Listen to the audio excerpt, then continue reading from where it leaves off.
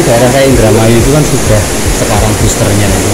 Oh, Nah, makanya ya itu, kita butuh waktu untuk anu untuk itu nggak ada diskresi kayak dulu-dulu itu Pak. butuh untuk butuh waktu untuk persiapan dan tadi kuning kan laporan sup- eh, apa stok vaksinnya masih terbatas. Tapi kita mulai hari Jumat ya, tenang aja. Kita selalu paling cepat, tenang.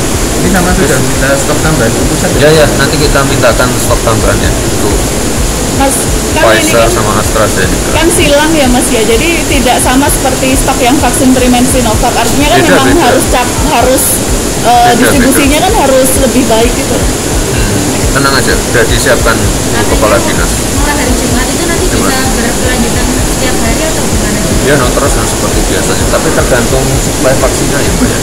Nanti kita coba koordinasi dengan kabupaten dan kota lain yang eh, AstraZeneca atau Pfizer-nya akan Expired. expired di bulan-bulan ini. Coba nanti kami mintakan biar bisa diakomodir di semuanya.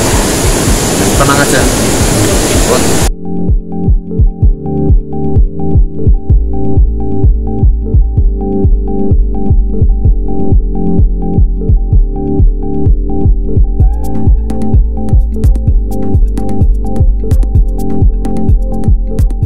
Jadi sesuai dengan pengarahan dari Kementerian Kesehatan tadi malam kan kita koordinasi eh, apa namanya sudah di kick off tanggal 12 nanti Solo kita akan kick off tanggal 12 tapi tetap sesuai pedoman eh, tanggal 14 kita akan eh, sesuai dengan pedoman diutamakan yang lansia.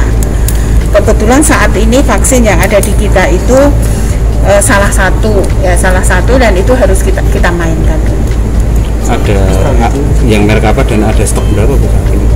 saya punya aset ya, saya punya aset untuk 200 dosis Sasarannya sasarannya lansia nanti Mekanismenya mereka daftar atau seperti apa? nanti saya akan berhubungan dengan kelurahan ya saya berhubungan dengan kelurahan intinya kita akan tetap memberikan booster kepada masyarakat sesuai dengan arahan presiden semuanya ada gratis.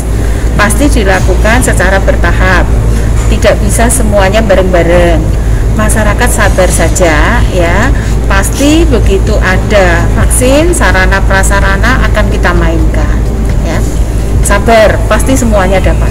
Ini kan itu ada informasi mengecek dulu ke aplikasi peduli lindungi apakah sudah jadwalnya itu? Benar. Ya, ya itu yang paling penting karena eh, nanti akan dilihat di situ sudah bisa atau belum.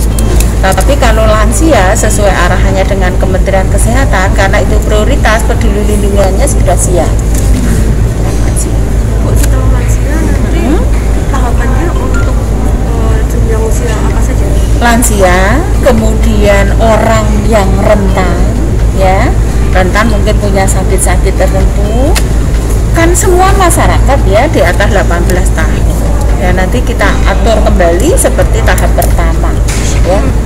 Nah, tahap pertama ini kan sudah pengalaman ya kita sudah belajar tahap pertama. Lewat link kelihatannya ya paling-paling di awal yang yang punya akses daftarkan yang enggak. Saya kok lebih lebih akan memberikan pemerataan kepada masyarakat. Artinya wes ora rasa khawatir gitu ya. Ditunggu gitu. Nggak mungkin semuanya diselesaikan satu bulan kan tapi semuanya bertahap. Ini sekolah kan harus saya selesaikan juga.